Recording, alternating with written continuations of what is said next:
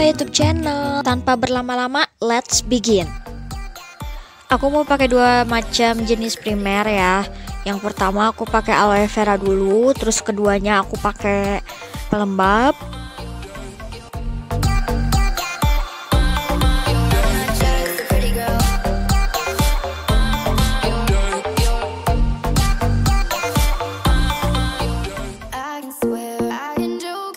Setelah menutrisi kulit yang super kering, langsung kita pakai foundation di sini. Dan sejauh ini masih tetap yang jadi favorit aku itu liquid foundation ya. Kalian bisa pakai liquid foundation sedikit aja, tipis-tipis, asalkan kalian cari foundationnya tuh yang coverage gitu. Kecuali kalau misalkan kita mau dandan tebel, kadang aku pun pakai foundation yang cream gitu. Oke, setelah foundationnya rata, sekarang kita ambil bedak tabur.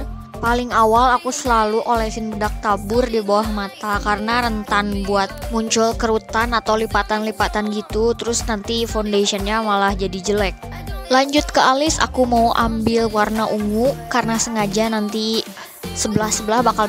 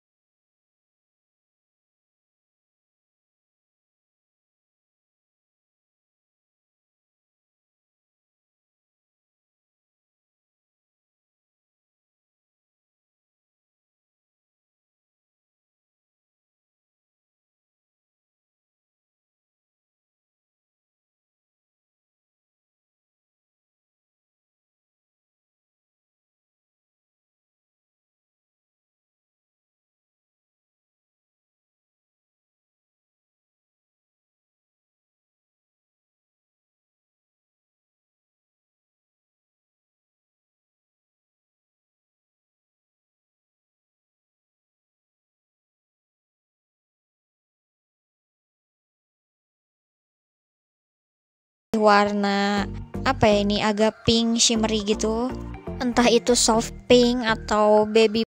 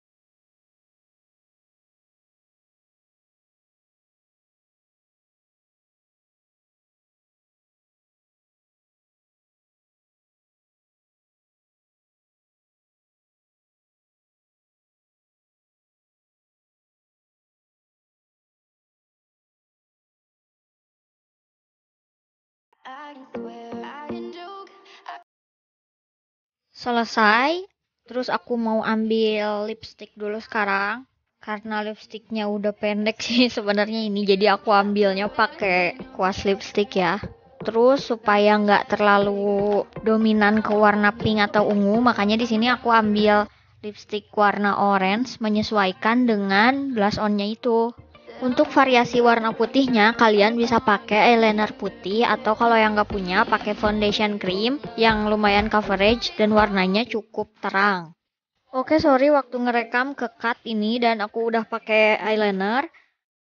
Selanjutnya aku mau warnain yang di bawah mata sesuai dengan yang ada di lekukan kelopak mata.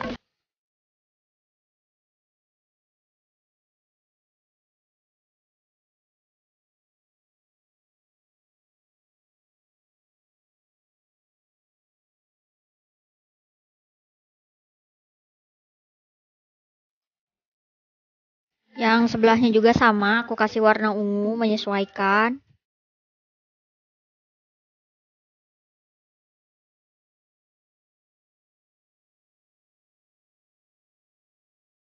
Setelah itu kita pakai bulu mata seperti biasa.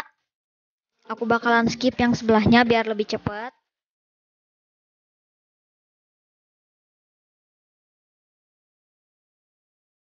Setelah itu aku mau kasih maskara buat bulu mata yang di bawah.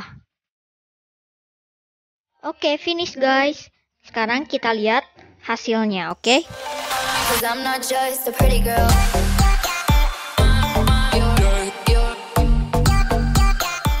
Selamat mencoba di rumah, semoga menginspirasi. Jangan lupa like, comment, and subscribe. See you on my next video. Just a pretty girl.